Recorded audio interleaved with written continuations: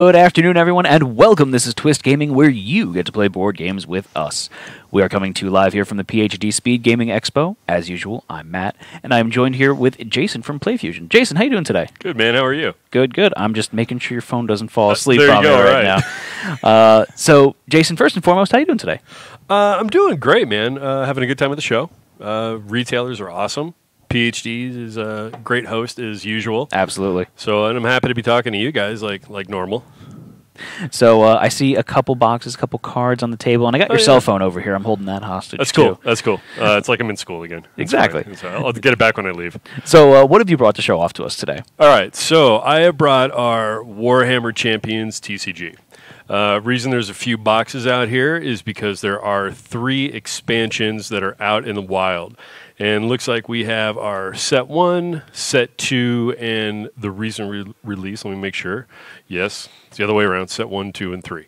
Um, and then we have the Warband pack, which is a supplemental SKU that kind of goes in between, keeps uh, people interested in the game, and it's cards you can add to your deck and things like that.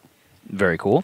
So, talk to me a little bit uh, for those of uh, our our viewers here that haven't seen uh, Warhammer Age of Sigmar Champions. What kind of game are we looking at here? I know you said it's a TCG. Uh, we showed it off briefly at uh, PAX Unplugged this past year. Yep. We did have a uh, setup for people to do some demos Yep. of it. Uh, but just give me a rundown on what we're looking at. Sure. So it's a Warhammer Champions is a traditional trading card game. It's got the traditional booster pack model. Um, there's a couple things that make it incredibly unique. One, there's some really interesting game mechanics that play with rotating cards and such, very akin to its, uh, I call it a distant cousin, which is Lightseekers, also one of our games. Um, and it gives it a really interesting gameplay feel. But I, I do think one of the big things that people gravitate to for our game is the fact that we also have a digital app. And the digital app is very, very unique in the fact I that have your cell phone, right? that's right. There you go. Not only does it allow someone to download the game for free, there's no barrier of entry. Um, they can play, they can check out the cards, they can do all kinds of different things. They can play it on mobile, uh, iOS, Android, Steam, Nintendo Switch. Ooh. It's everywhere. All the accounts are connected, so everything you have is all is on every platform. Now, here's the really interesting and, quite frankly, unique part that nobody else is doing but Play Fusion. Mm-hmm. I have some cards here. Every single one of our cards is unique. Okay, they Okay. all have a code printed on the card, and the reason this is really important is because any player who decides to go into a hobby store to buy a pack of cards, not only can they build a deck with them and they can do you know whatever they're doing, think of it in the scenario of someone spends you know four or five six hundred dollars on uh, booster boxes to build like the perfect deck to go play in any of our op events right.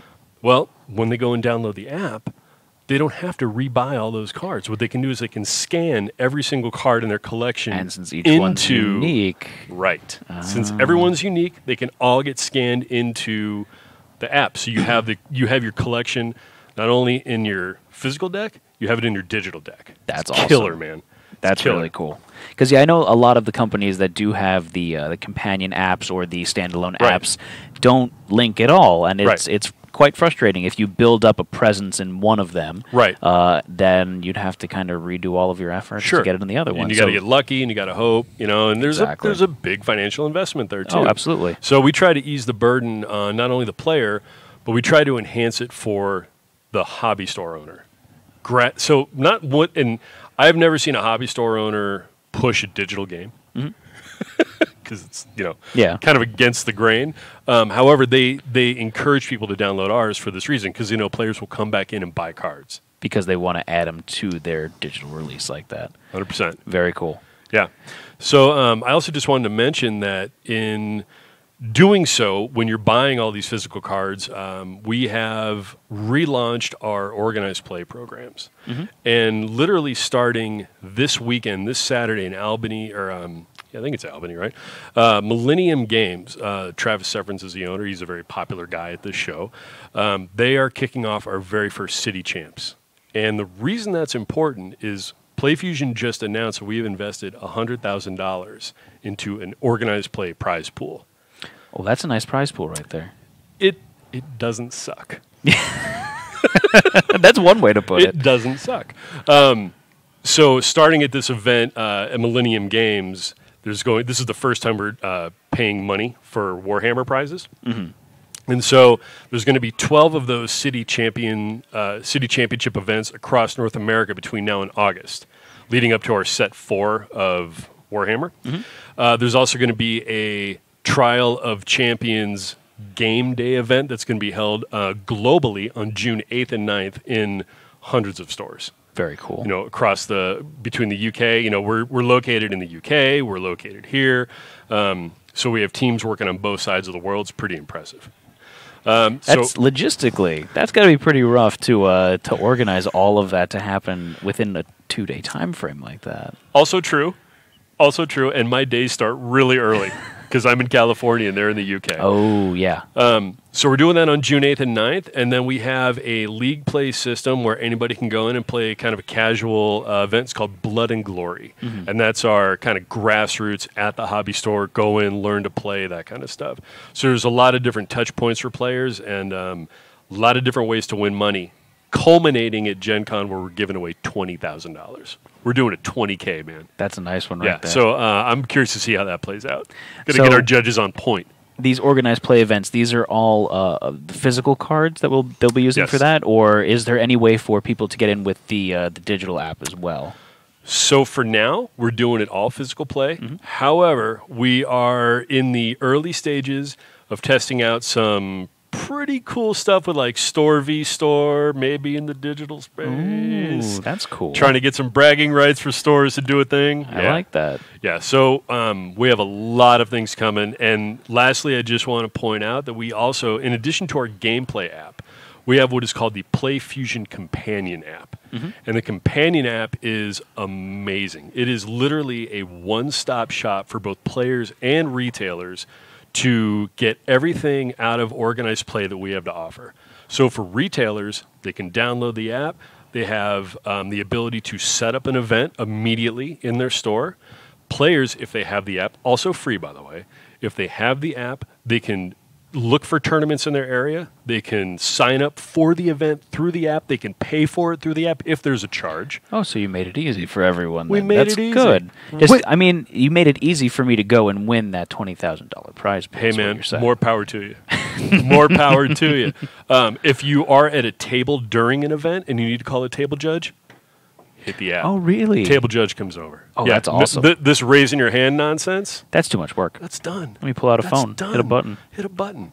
Uh, it's it's all there, and there's there's a lot more functionality there as well. But we are trying to make it as easy as possible, and quite frankly, um, let's move away from the paper and pencil age of of scorekeeping and tournament. Let's let's use the uh, little supercomputers we have in our pockets.